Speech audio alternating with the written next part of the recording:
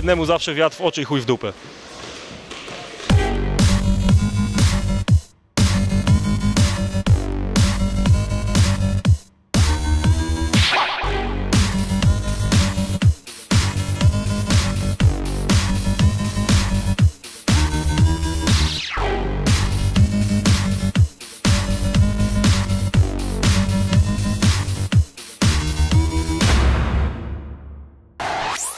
Jan Bochowicz przed UFC. Parę słów. y, Dzisiaj ostatni trening. Ostatni w Ankosie. A dalej co? No jutro rano lecimy do Krakowa, także albo będziemy, zależy jakie warunki nam stworzą w hotelu treningu, jeżeli będzie dobrze to zostajemy w hotelu, a jak nie to wieczorkami do Szkoły Walki Drwala, do Tomka Drwala będziemy jeździć dorabiać. Pewnie tam, bo tam klatka jest, czyli lepsze takie obycie. Nie? Co będziecie robić przez te kolejne dni już poza Ankosem? To już wiesz, wszystko co miało być zrobione zostało zrobione, teraz już tylko świeżość i jakieś tam elementy taktyki dorobić i szybkość, no i trzymanie tej wagi, nie? A waga zrobiona? No jeszcze nie, dopiero będzie. A ile zostało? Wiesz co, z 4-5 kilo. A jak przebiegły przygotowania w Ankosie? Y, Bardzo dobrze, bardzo ciężki obóz y, treningowy. Y, Na szczęście bez kontuzji poważnych, które by we mnie wyeliminowały, na przykład, że musiałbym odpuścić tydzień czy tam dwa na przykład treningi. Także z tego się bardzo cieszę. Jakieś mikrourazy zawsze są, ale nie takie niepoważne, także zajebiście, no czuję się bardzo dobrze, także będzie ogień. A co robiłeś i z kim? Jeśli chodzi o te przygotowania? Trenowałem MMA. A z kim? Kto pomagał, kto pomagał Ci w przygotowaniach? Komu należą się podziękowania? Wiesz co, tak naprawdę każdemu chłopakowi tutaj z Ankosu, ponieważ z każdym coś, coś przerobiłem, tak? No jak mam wymieniać z imienia nazwiska, to już z góry przepraszam tym, o kogo zapomniałem, ale tak, Wauliew, Andryszczak, Pietrzuś, Skiba, y, Ante Delia, który był też bardzo długi czas, też z nim się bardzo fajnie robiło, Waldek z, z Jarocina, tak? Dobrze mówię, z Jarocina przyjeżdżał Waldek do nas specjalnie, żeby potrenować. Y, kogo jeszcze, no, wiadomo trenerowi za, za, za przygotowanie raju, za, za całą, za, za taktykę stujeczkę, ale to wiesz, to te podziękowania będą po walce, tak? Yy, no, cały Ankos się przyłożył do tego, że ta walka będzie dobra i po- na moją stronę w sobotę. Dobra, to parę słów o przygotowaniach było, teraz parę słów o walce. Tej, która będzie. No co, zaczynamy się tłuc i, i, i ten, no ja wygrywam, no co ja ci będę, nie wiem, no. A czy ty jesteś osobą, która sobie planuje przed walką, która e, ma jakiś game plan, wie co z kim robić, czy po prostu wchodzi i tam, co trzeba robić, to robić? Co- Coś tam mam przygotowane, zawsze jakieś tam dwa, trzy scenariusze, ale najczęściej to się rozgrywa tak, że jest, są pierwsze dwa, trzy ciosy i wiesz, i już jest po prostu bój i, i no i po prostu szukasz tych luk podczas walki, no nie? No ale jakieś tam scenariusze są, no. Zobaczymy, czy się sprawdzą. E, Myślisz, że ten przeciwnik jest lepszy od twojego poprzedniego w UFC?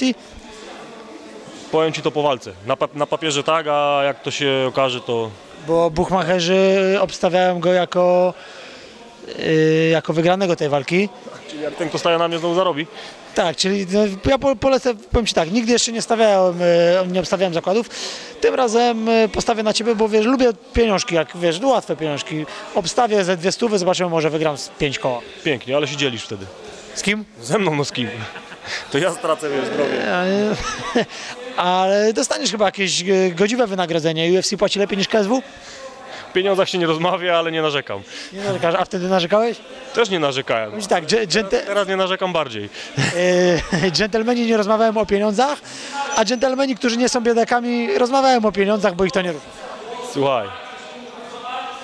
Ty, No takich dżentelmenów jak ja, to mój dziadek na konia wsiadał. Zacznijmy od tego, wiesz. Dżentelmen, pan jak się rano budzi, to pije whisky, a nie czarną kawę na śniadanie. Jak otwiera okno, to wiesz, no nie widzi domu sąsiada, tylko ma 8 hektarów lasu.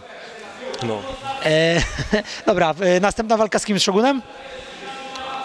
Wiesz co, nie wiem, nie wybiegam za tą walkę. E, następna walka będzie z Browarem po walce. A myślisz, że dopuszczą cię do Shoguna już teraz, czy w razie twojej wygranej, której oczywiście ci życzę? Wydaje mi się, że tak, że wiesz, że, że, że jeżeli pokonamy e, Jimiego, to tak naprawdę mi się wydaje, że do top 3 każdy, każdy będzie możliwy, no nie? A gdyby doszło do, a do walki o pas, myślisz, że mogłoby dojść kiedy najszybciej? Jakby wszystko się układało? Jakby się wszystko układało, gdzieś tam najlepszy scenariusz, jaki sobie gdzieś tam wiesz, wyśniłem, to by jeszcze dwie walki i następna już by mogła być. Po tej dwie wygrane i następna już mogła być o pas. O pas. Dobra, no czekamy na to. Yy, walka kiedy? Gdzie dokładnie? Zaprosimy może fanów, widzów. Jaka walka? No, twoja, która się za chwileczkę będzie odbywać. 11 kwietnia Kraków, serdecznie wszystkich zapraszam na swoją walkę, a również jak wszystkich innych pozostałych Polaków. Bądźcie tam, kibicujcie, krzyczcie, będzie nam to potrzebne, a zawsze im więcej fanów krzyczy, dopinguje, to to pomaga. Czy jest na tej gali walka, którą, którą sam chętnie byś zobaczył, oprócz twojej? No na pewno będę bardzo śledził mojego dobrego kolegi, przyjaciela Daniela Omielańczuka, jak i każdego innego Polaka, ale w szczególności na pewno Daniela będę. A walka... Wie... Oraz, oraz Bandla, który, Marcina Bandla, który z nami, razem z nim właśnie tutaj e, przychodziłem obóz e, w Ankosie, także, także cierpieliśmy razem na macie, także jego walkę też będę na pewno. A walka wieczoru to... Jan Bochowicz Manua?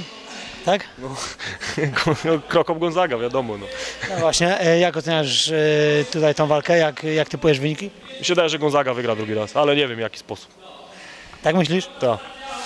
Jak byliśmy na tych media treningach w Krakowie parę tam dwa miesiące temu, półtora miesiąca temu, to ten Mirko już taki wiesz, już nie ten Mirko z wizualnie, już taki dziadziuś troszeczkę. Ile ma lat? Wiesz co, nie wiem ile ma lat, ale wygląda na więcej niż ma na pewno.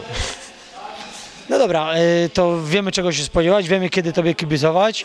E, Trzymamy oczywiście kciuki, a może powiesz nam troszeczkę o tym, mm, cofnijmy się wstecz jeszcze wiele, wiele, wiele, wiele, wiele, wiele, wiele do tyłu, do tyłu, do tyłu i, i opowiedz, jak w ogóle stało się, że zacząłeś trenować MMA? Jak do tego doszło? Skąd w ogóle taki pomysł pojawił się w swojej głowie?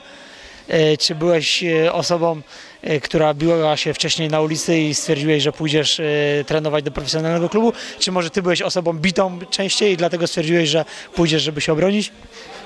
Co, yy, powiem Ci tak, że jak kiedyś chodziliśmy na imprezę i impreza była bez dymu, to nie była udana impreza, nie?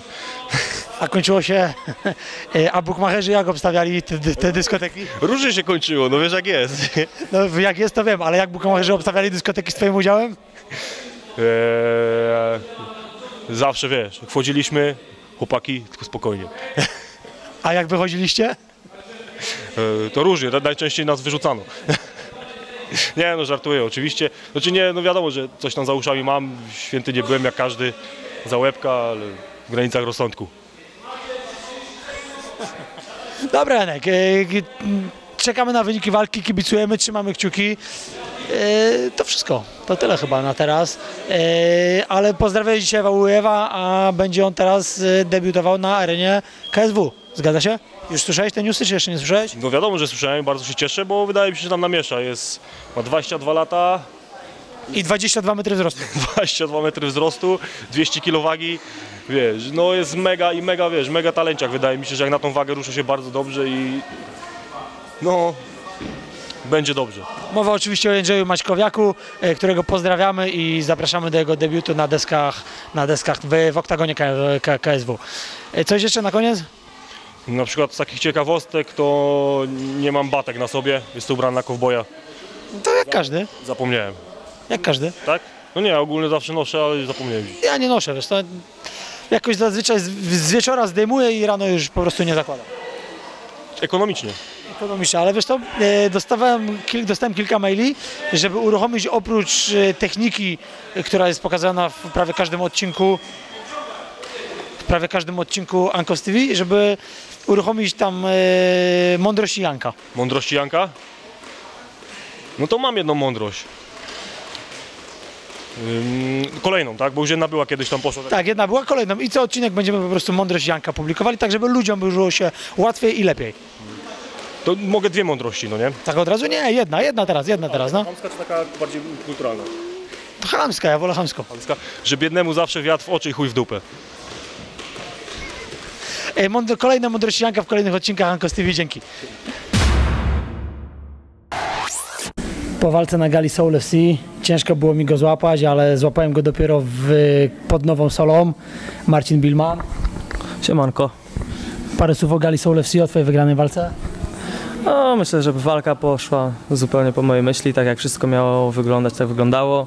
E, przepracowaliśmy cały okres przygotowawczy, tak jak powinno to wyglądać, więc no to owocuje. Mam nadzieję, że do następnej swojej walki też będę miał pełen okres przygotowawczy, no i wtedy wychodzę ze spokojem, wiem co mam robić i robię to najlepiej jak potrafię, no i tak jak widać, co prawda nie udało mi się dotrzymać obietnicy i skończyć walki przed pierwszą minutą, ale mimo wszystko jestem zadowolony. Frontkick, którego sobie upatrzyłem już parę tygodni przed walką, oglądając walki Kamila wyszedł, więc cieszę się. Wróciłeś do zawodowego MMA po dość długiej przerwie. Czemu ona była spowodowana? No, kontuzją łokcia, miałem trochę, y, no, trochę problemów z tym łokciem, dość długo mi się to ciągnęło, ale jak to się mówi, każda kontuzja rozwija, wzmocniłem dość mocno swoje nogi, y, poprawiłem balans, trochę zapasów parteru, ground and pound, więc cieszę się, no, pracowałem nad tym, nad czym mogłem, y, nie obciążałem tej ręki, zrobiłem trochę też siły statycznej. Y, Czuję się dość dobrze po tej kontuzji, nawet mogę powiedzieć lepiej niż, niż wcześniej. Wróciłeś do sportu, jesteś teraz y, z rankingiem 2-0. Y, Jak długo będziemy czekali na Twoją walkę i czy, czy, czy, czy już coś na ten temat wiadomo? Standardowo powiem, że y, nie mi o tym rozmawiać, to Wiesz co, przypomnę tylko, że to jest rozmowa dla Ankos TV, a nie dla kogoś innego. nie no oczywiście, Także mogą być informacje premierowe. no kurwa, to teraz nie za bardzo wiem, co mogę mówić, co nie. No pojawiły się jakieś tam propozycje, na pewno chyba mogę powiedzieć, że dwie najfajniejsze propozycje, jakie mogłem sobie wymarzyć w Polsce, no to pojawiają się, więc, więc, więc jest ciekawie. Mam nadzieję, a kiedy walka, no to, to o tym już zadecyduje mój trener, mój menadżer, bo ślepo wierzę w ich słuszność, więc tak jak oni każą mi walczyć, tak to zrobimy. E, dobra, czyli że propozycje były dwie. E, przynajmniej tak się zdradziłeś. Podejrzewam, że może było ich więcej. Ja na przykład chciałbym zobaczyć Ciebie w walce z, z Tymoteuszem Świątkiem. Oczywiście. Bardzo mi się podobała ostatnia walka Tymoteusza, pokazał niesamowite serce i chęć walki. Oczywiście duży szacunek, zresztą widziałem Tymoteusza po, przed swoją galą, złożyłem mu gratulacje, zresztą tak samo on złożył mi po mojej walce, więc oczywiście myślę, że to byłaby super walka. Naprawdę e, oglądam jego walki i zawsze patrzę, myślę, że fajnie byłoby bić się z kimś takim, więc to byłaby na pewno fajna walka, chociaż też bardzo chętnie, jak nie nawet chętnie, teraz pomściłbym Tymka, bo jednak coś patriota we mnie też każe mi to robić, więc chętnie też mógłbym się w jakimś tam dalszym lub bliższym czasie zmierzyć się z jego rywalem.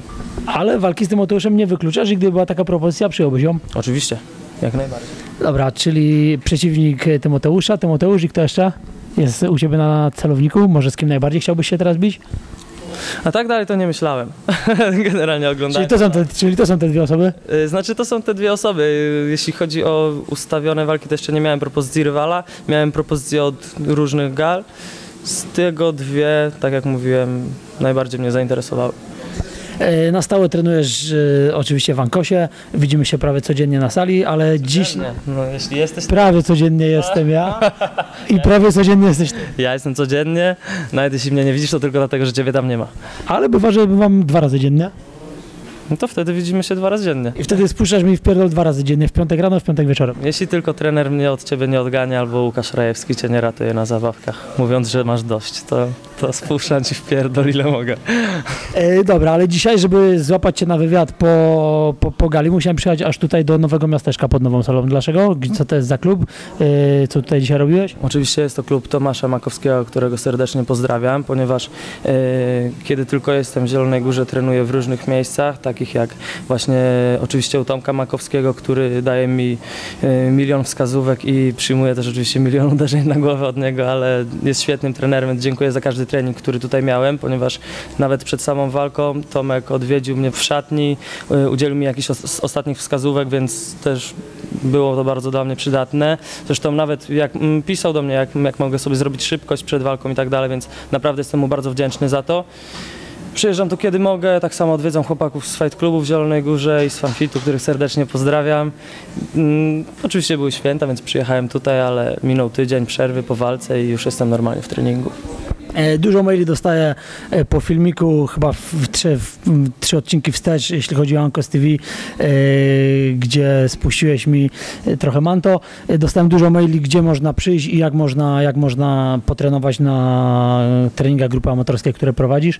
Także może byś powiedział, gdzie, kiedy i jak to wygląda cenowo i jak można podszkolić się pod Twoim okiem w klubie Ankos Zapasy Poznań.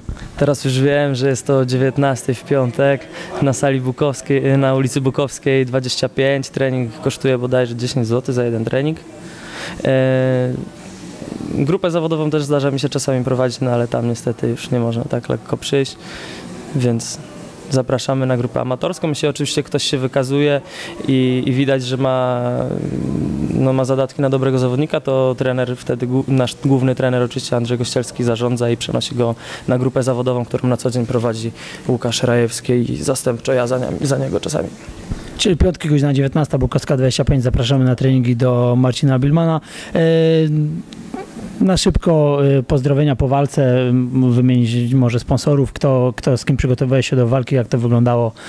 E, Boże, przygotowywałem się z bardzo wieloma osobami. Na pewno na początku Maciek Kazieszko, Krzysztof Klaczek i Mateusz Gamrot, ponieważ poświęcili mi bardzo dużo czasu do tej walki. Oczywiście mój trener, Borys Mańkowski, Tomek Kondraciuk za jakieś fajne tam SMS-y, dobre słowo. No, generalnie osób jest mnóstwo, Łukasz Rajewski, Marcin Mencel, że się też nie obraził znowu i tak dalej, i tak dalej, i tak dalej. Dziękuję wam wszystkim, bo nawet jeśli miałem kontuzję i słyszałem dużo dobrych słów z klubu, które sprawiły, że jakoś tam nie podłamałem się, tylko wiedziałem, że przyjdzie mój czas.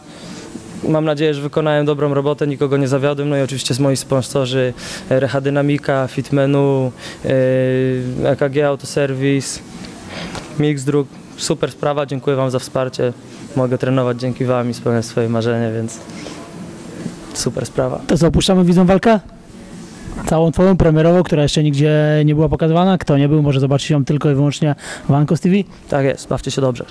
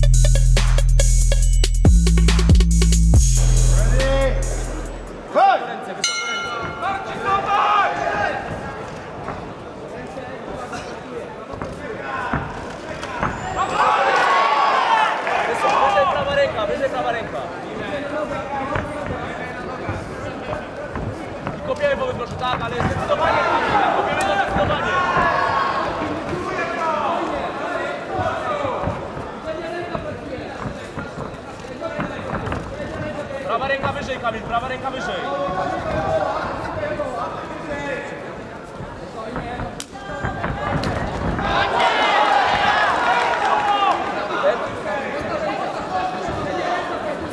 Prawy sierp, Kamil, prawy sierp, sierp, ale ręce wysoko, ręce wysoko. lewą rękę ma na dole. Zobacz jak ma lewą ręką, prawy sierp tam wchodzi. Prawy sierp tam wchodzi, Kamil.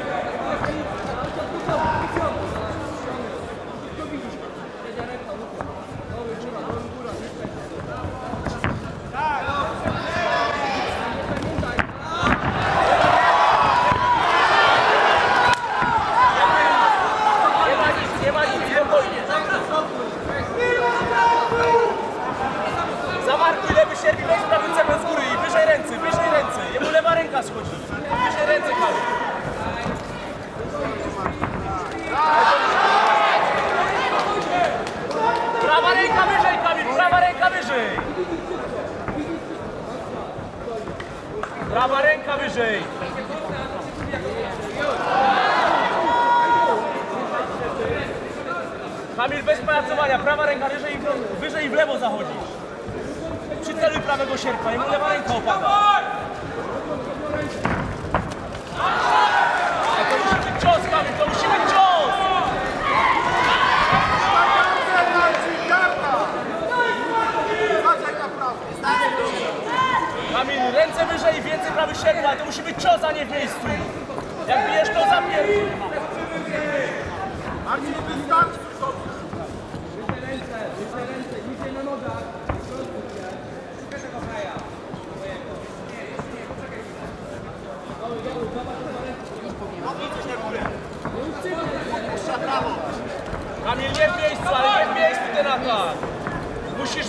nie w miejscu ten atak. Nie bój, że się weź z jak atakuje.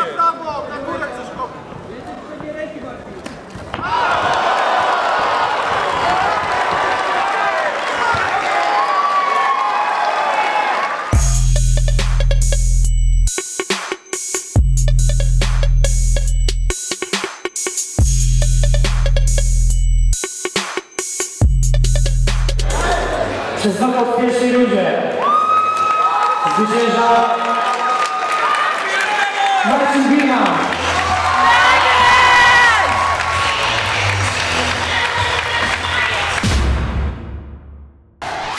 Mało co nie zapomnieliśmy o technice, y, którą pokazujemy Wam co, co każdy odcinek. Tym razem Mateusz Gamrot zaprezentuje swoją technikę. Co to będzie? E, Będzie to kontra po wybronie po przeciwnika zejścia do nóg. Złapanie do anakondy. Dobra, lecimy. Jedna ręka idzie na brodę, druga na kolec łokciowy. Mocno rozciągamy zachodząc w drugą stronę. A nie. No. Wchodzimy ręką, dochodzi druga. Robimy przekręt. W tym momencie wypinamy mocno brzuch do przodu, żeby zamknąć mu przeponę i dopinamy uchwyt. Wybroniłem. Hop, zachodzę.